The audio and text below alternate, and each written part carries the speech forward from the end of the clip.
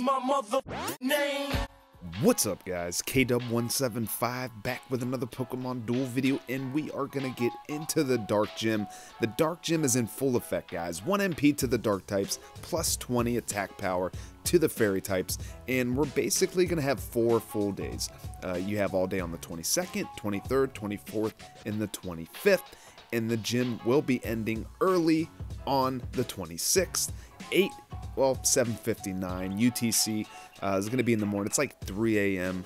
Uh, Eastern Standard Time for me. So basically four days. So you know it's going to be safe to say you're going to want to get at least you know seven, eight wins a day, and make sure that you know you're getting all the achievement rewards, and um, you know you want to try to give yourself as many chances as possible by opening those win boosters try to pull an EX. It's been since the bug gym since I've got an EX pull, so hopefully we can get an EX pull uh, this gym. Quite a few rewards. I think there's a total of 100 Carmonite, a couple booster tickets, uh, like 50 gems. We're going to get the Haunch Honchkrow, which is going to be pretty decent, I think, in the gym at a 3 MP. And, you know, a decent amount of gold. Mmm you know, the call, I mean, it's going to be a decent dodge, you know, but 120 in attack, and if you're running an Yveltal and you get a couple Dark Mist, uh, this thing could be pretty powerful. It's not going to be bad at all in the gym. Generally, the, you know, gym exclusive figures that you can get are going to be, you know, best in the gym that they're obtained in, and not so much in League. We are going to get another EX Cube. I feel like, you know, EX Cubes are just like everywhere anymore. Like, no matter what you do, like an EX Cube is pretty much going to be uh, a reward. And, you know, they don't. I mean, they, they're still great. They're still great. But, I mean, with some of the new Pokemon, you know, I you really do need the EX cubes if you want to run older Pokemon. So I just wanted to kind of take a look at some of the top ranked players here. So definitely running this Zoroark Rush deck, and he went with the 99 111 as well. So feel like I definitely made a good decision going that way. More Deoxys, you know, it seems like people have been running this, but uh, like you know, maybe Fodder's video with the Cosmo Energy 2.0 gave more people the idea because it, it, really is a good good idea. It was definitely something that I, I was considering. I wasn't thinking so much of you know running two Deoxys speed form with two Zoroark. Uh, I just figured you know you could kind of rush out there as a rush deck. But yeah, those Deoxys speed form, really good synergy with the Zoroark. I wish I had two Zoroark. I would definitely try it out. I only have one speed form though. But um, you know, some Sableye. Those things are pretty insane. So if you have any Yveltal, you definitely want to be running it on the team so you can stop those Sableye, and you probably want to have at least one fairy type, whether that's going to be Koko, Magearna, uh, something that's a fairy type that can stop Tapu Koko. Yeah, you want to be able to stop Koko because uh, your is not going to get it done. So we are going to jump into a match, guys. I only have time to play one match. Hopefully we can win because it always feels good to start off the gym with a win. You know, it just never feels that great whenever you start off with a loss, but it's going to be totally possible. Uh, you know, who knows what kind of player deck we're going to get up uh, okay, so we got Dom. Looks like he lost his first match, so that feels bad. But he's got two Sableye, Yveltal, and uh, Koko with a Zapdos, and he's got the Keldeo. I don't know about that. I mean, yeah, it's going to, you know, get a buff from the Dark types, but I don't know. It, it's not that good of a buff. It, it's really not. I don't think it's going to be, I don't think it's worth running but the Hydro Kick can come in clutch. So we are going to start off with the Steel Energy to get that Magearna into a punishing, terminating machine because that thing can do 160 damage with both Steel Energy and the Metal Sphere. And then the uh, Dazzling Gleam still hits for like 118. It's only going to get a plus 10 on the Dazzling Gleam. We're going to get a plus 20 on the Flare Cannon with both the plates. Uh, I'm going to block the Sableye off might as well just go with my Yveltal. Normally, I would just bring out my Sableye with the gold, but uh, I don't know. Let's try to switch it up a little bit. Let's just see how this plays out. Because he can't pass us, and if he wants to attack, we could switch into the Zoroark, but I don't really like the Zoroark matchup either. I mean, we could hit our damage into his gold, our gold into his purple, which is, you know, even less likely because since it is a level 10 and I decreased the gold as far as I could. Okay, so he's going to bring his other Sableye out. So I think what I should do, he's got one chain on it. Looks like he's expanded it. We got a bigger gold. We got more chains. Let's go with the Sableye. We're going to go with the Sableye. Now, if he wants to bring his Koko in and then attack the Yveltal or the Sableye, we will definitely switch into the Zoroark. He's got the counter attack. We're definitely not going to be falling for that. Watched way too many Giggity Gaming's uh, videos to, to fall for the counter attack. I don't think I've I haven't fallen for that counter attack in quite some time. So, um, we can always switch, but I'm gonna bring out the Cobalion. I'll bring the Cobalion out, and um, yeah, I don't know. Maybe I shouldn't have because, like I said, I can always switch to the Zoroark, but I don't know. It's not a big deal. Not a big deal at all. And if he has any plans of attacking the Yveltal, he's going to have a surprise coming for him. Um, I could put my Sableye on my bridge, I think would be a decent play. Yeah, let's do that. Put the Sableye there, and then, um, then we'll probably just try to get some defense on the back line. Okay, we're, you know, a little bit behind on time. I definitely don't want to get too far behind, but I probably will because... Um, okay, well, I cannot block him off. He's going to be able to take the entry point. Now, we're not going to be able to surround him because of the ability. You know, ghost types are not able to pass through him. Which the uh, the cool thing is, is we can actually pass through our own Yveltal. So if I uh, click on Sableye, you know, see I can go through my Yveltal, which is pretty nice, but uh, I cannot go through his. So my Magearna can definitely knock out the Yveltal, um, but I think I'm going to double chance my Sableye. Now, if we lose this, it's going to kind of suck, but, you know, he's not able to pass our Sableye from where he's at anyway and because we have the Yveltal, so we have a huge gold. We should be able to win this. Oh my god. Okay, he hits the gold. okay, come on, Sableye, hit that gold.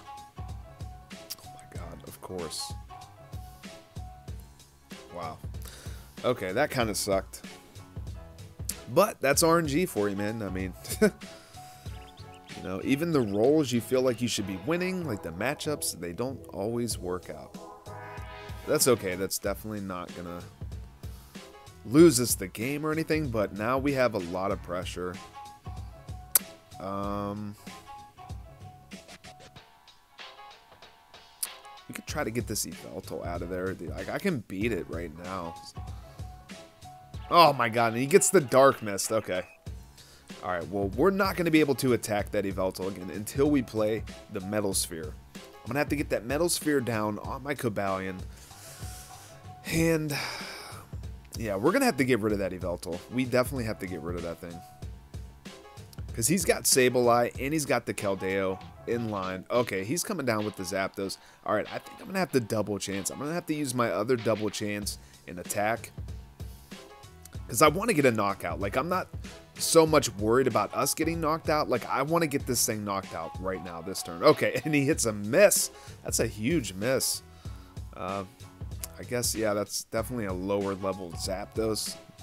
Really no chains, not a, any Carmanite into it. Unless it got, like, reset or something and he never reset it. But, it, I mean, it does have one chain in it, so... Uh, I don't know.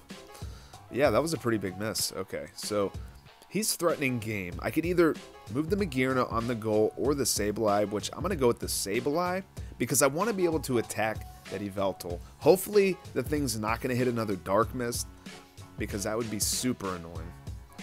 Really annoying. And I could see him coming with the Koko. Yeah, he's going to come with the... Are you going to attack? Yeah, all right. Let's switch into the Zoroark. Come on, Zoroark. Hit that cross counter. Boom. Yeah, get wrecked, Koko. You didn't see that coming. Look at that. 118 damage coming out of that Koko. That's pretty insane for a 3 MP that can pass through most figures. It's pretty insane. All right. Um, yeah, we got to go ahead. We got to go with the Metal Sphere. I'm going to put the Metal Sphere down. And to be honest, I don't want to attack that Keldeo because even if I knock it out, if it hits the Hydro Kick, we're going to get benched. That Sableye is going to take the entry point, and then we're going to lose our uh, our Metal Sphere. So I definitely do not want that happening. We need to attack this Yveltal. We got to get a knockout on our next turn. He's going to max revive, coming back out with the Zapdos. Okay, that is totally fine. I'm going to go ahead and attack with the Magearna. Come on, Magearna. It to him, late to him, late to him. Yes, that was almost a miss, guys. Let's go. And Flare Cannon at 161, dude. Get wrecked. That's a monster, dude. Magearna is a monster in this gym. If you guys have Magearna, like, if you guys have this deck loadout, I highly recommend you put it to, like, put it together, put it to good use. Oh, wow. Okay. Come on, come on, come on. Oh, and we're going to hit the cross counter into the Shadow Sneak, and we're going to be able to move right up, take that entry point. Yeah, this deck has been doing wonders for me, guys. Um, it, it really has. Like, you know, I played a few games in the Orbiter Hall. I didn't lose any. Uh, a few matches that you guys seen. And uh, this is going to be my first match, and I feel like it's doing pretty well. Doing pretty well. I'm going to move up with the Cobalion. Now, I could see him move, moving defensive with the Koko, and I'm going to take the entry point and attack that Zapdos. Yep, okay, yeah, because he does not want to get surrounded, and there's pretty much no punish for us attacking here. Boom. And we're going to get a knockout. Look at that. Cobalion, 120 damage with the Swords of Justice. Beautiful. Like we we turned this thing around completely. That was that was pretty awesome. It was nice that we were able to get the knockout on that Sableye. I'll admit that was that that could have went a different way. We could have got confused. We could have got burned. Ooh, and he's not able to get the Hydro Kick off. Feels bad, bro. Feels bad. All right, so I think we're going to go ahead and take our Yveltal, put a little pressure up here, and if he wants to move that Koko, we're going to be able to swoop right in for a surround. Ooh, okay. Um, we have Goal Block, but there's no reason to risk it. One more turn, I mean, we're in a great position. That Koko is going to have almost zero chance of knocking out our Cobalion or our Zoroark, though if we hit our Gold attack on the Cobalion, we could definitely get knocked out. But as long as we hit dodge or swords of justice, we're pretty good. Um, the Koko could attack our Zoroark though. I mean, if we hit anything but cross counter, he could knock us out. Okay, he's going to go for the Cobalion. Come on, dodge. Or swords. There we go. Swords of justice. Uh, you definitely don't want to take that respin, my dude. No, I guess he does. okay. All right. Yeah. I don't know what you were hoping for, dude. Like, you got the lucky roll because you were hoping that we were going to spin gold. We didn't. I don't know why you would respin. That's going to be GG, man. Nothing he can do. Oh my, you're going to rage quit, bro. Come on, Dom, dude.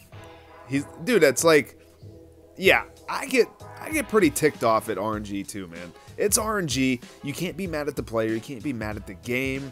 Or, I mean, you can't be mad at yourself. You can be mad at the game though. But you know, you don't take it out on the other player, guys. Don't take it out on the other player. So that is going to wrap up, I think, this video, guys, for the most part. Um, uh, 28 points. We got our first win. Not too bad. I definitely like this deck, though. This deck has been doing pretty well. It's got speed, it's got mobility, it's got power. Um, you know, it's even able to, you know, with the Zoroark, you with that cross counter, it doesn't matter how much damage the enemy is putting out with the round decks, with the Altaria. Doesn't matter. Zoroark is a complete monster. As of right now in this moment of time, I am not regretting crafting him at all. Magearna, I love Magearna in this gym, and I probably might run it in League even. I mean, it's still really good, and being able to tag those curse markers is awesome. Cobalion with a, you know, plus 20 on that Swords of Justice, 120 is pretty good, and being able to negate any gold attack, we have a lot of purple, you know, between the two Sableye and the Yveltal, so, um, this deck is, is pretty good, and definitely shout out to Care Bear. Um, you know, me and him love to talk about decks and stuff in the DMs on Twitter. So um, yeah, it, this is this is like our deck. He, he left a comment. He's like, "You're running my deck." I'm like, "It's our deck," because you know we're kind of like deck buddies, right? But uh, yeah, guys, let me uh, let me know what kind of deck you came up with. If it's anything similar, anything different. Do you have two Zoroark? Have you been trying the Dio Speed, the Cosmo Energy 2.0? Um, definitely curious to see how that's going to turn out if I go up against that. But hopefully we don't. And you guys know I'm going to be trying to go for that 11 win streak, hopefully.